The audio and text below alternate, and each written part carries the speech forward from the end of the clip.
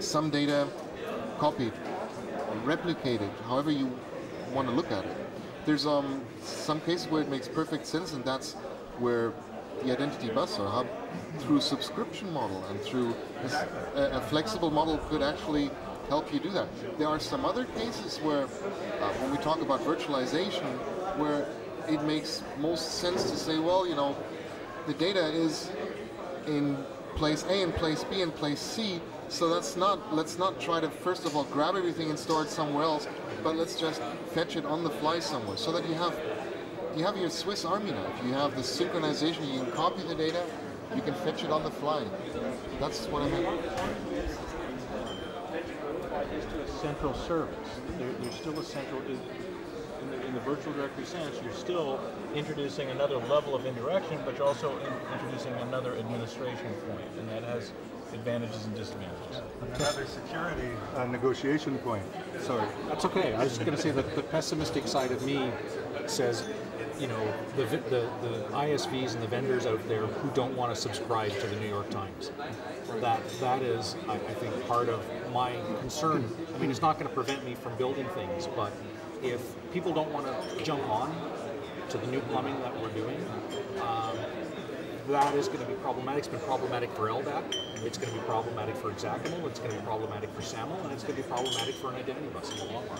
And we, we as an industry have to prove that value to, to, to both the end users um, and to the ISVs who are building these products, ERP products, whatever. These products that need to, we need to get onto this identity bus.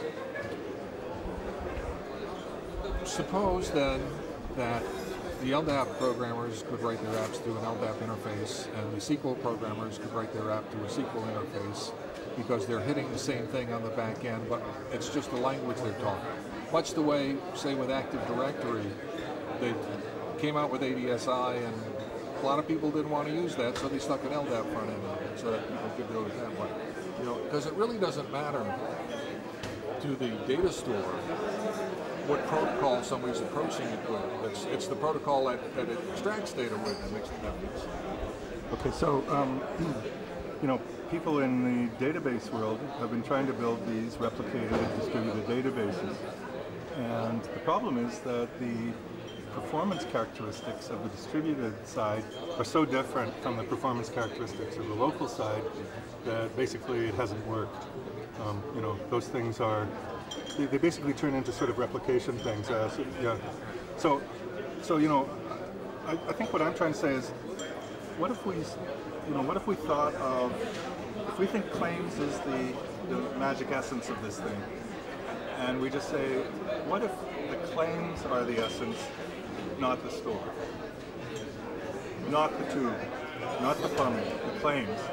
So now the claims can be we can we, we you know we should get people to be using these claims no matter what technology they happen to like.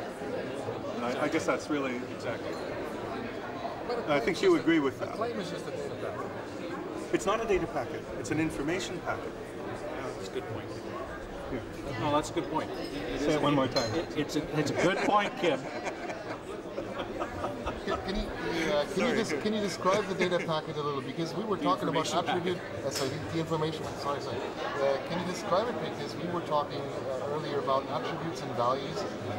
There's obviously some kind of command structure that we need as well. You know, some we need some commands that go down the bus. We need several operations. Yeah, and the operations are different from the claims. And if you, I think if you mix those, it gets really complicated. And if you pull them apart and deal with each of them in a complementary but separate way, then, then it gets easier. So um, describing, so this thing of, of, of, you know, like packets and data at, at the data level versus the information level. I mean, I agree with, with, with Dale. Okay, attribute value assertion is the same as a claim. Um, I, it's just we, we say an assertion, a claim is an assertion that's in doubt, and so once we start shooting these these claims all over the place, you don't really know if you should believe it or not. Um, so it's but but so to me the, the the content of the claim is completely elastic. But the idea is you can just sort of staple a bunch of them together, send them around, stick them wherever you want. And I guess I sort of have come to the conclusion that the directory is more an information system than a storage technology or a protocol. It's, it, it certainly is. And if you abstract the storage and the information model, then you're flexible. By the way, even what, what you said, Jackson, uh, how is this going to be supported for, how are people going to jump on board? Uh, well, think about an application that talks LDAP or you know that talks uh, SPML or something like that.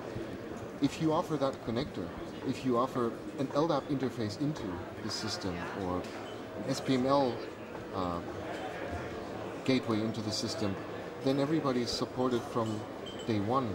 And as soon as they want to extend their software to make better use by plugging directly into the infrastructure, they all win. But even if they don't, they can still use the same system.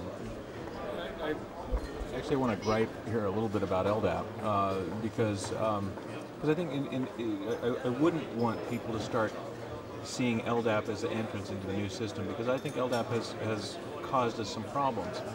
Uh, and, and that's what I was joking earlier about. My, my favorite phrase in this whole conference has been from Dave that LDAP is the is the COBOL of identity systems, which I, I think is just I think is just wonderful. Um, on, on the because on the one hand it's it's very good it, it, it has entries and, and and series of attribute value assertions that sound an awful lot like uh, eh, the claims uh, and, and these, these packets that we pass around information packets but on the other hand people use LDAP as an authentication service they use it as a connection based system from this client to this server and I think instead if we were to separate it out into the claims and focus on what is the content of the claims and then give programmers the ability to, to make higher level uh, questions. Can Joe do this based on these claims as opposed to right now connect to LDAP, look up this entry, read the telephone number, read the age uh, attribute and determine whether he's uh, an adult.